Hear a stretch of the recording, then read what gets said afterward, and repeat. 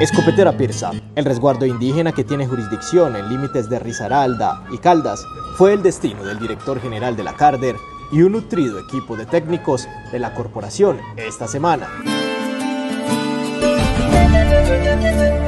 Es que la Carder es territorialidad. Si no venimos al territorio no estamos haciendo ninguna función.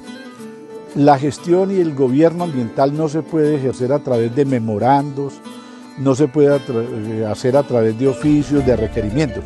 Hay que venir, conocer la realidad ambiental, hablar con la gente, colocarle rostro humano. Esta es la primera vez que yo conozco que a través de la organización indígena eh, haya venido un director de la Cárder acá al territorio, en particular pues acá a la comunidad de La Flores. Los representantes de la comunidad, que asciende a cerca de 9.000 personas, recibieron al funcionario con alegría.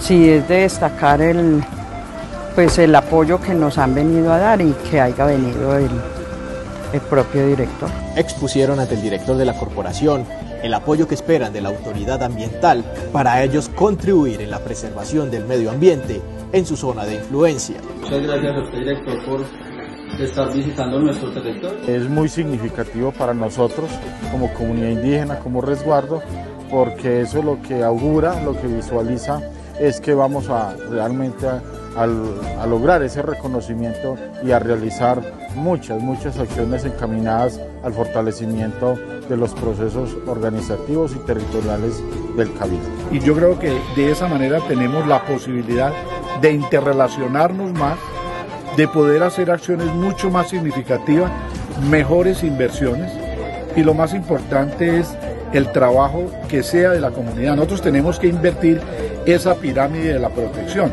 No puede venir de la autoridad hacia la comunidad, tiene que partir de la comunidad hacia la autoridad. Hasta este lugar, el resguardo Escopetera y Pirsa también llevó la Carder su programa Dona un libro, siembra conocimiento, con la entrega de bibliotecas para los niños de la comunidad.